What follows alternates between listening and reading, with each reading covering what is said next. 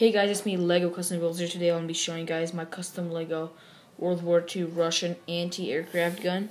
Um, I completely forgot the name of this gun. It's a very long name, so that's why I forgot. But it's a it's a field gun, something like that. That's one thing that I remembered in there.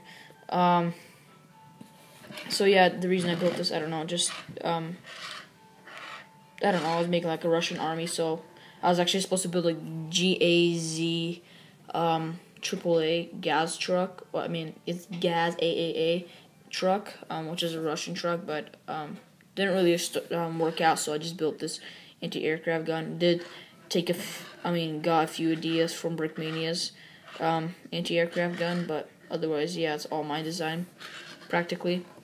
Um, so yeah, this is an anti-aircraft gun, Russian, and you can move this up and down the barrel like that. Um, it goes all the way down like this. And then, you know, you can move these like that.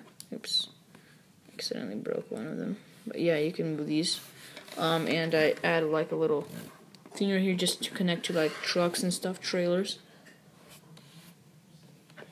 So yeah, um, I think this turned out pretty great. Um, um, I like it probably as much as this Flak 36, Flak 38, which I made in a different review. So, yeah, I like this um, um, Russian anti-aircraft gun. So, yeah, that's pretty much it for this video.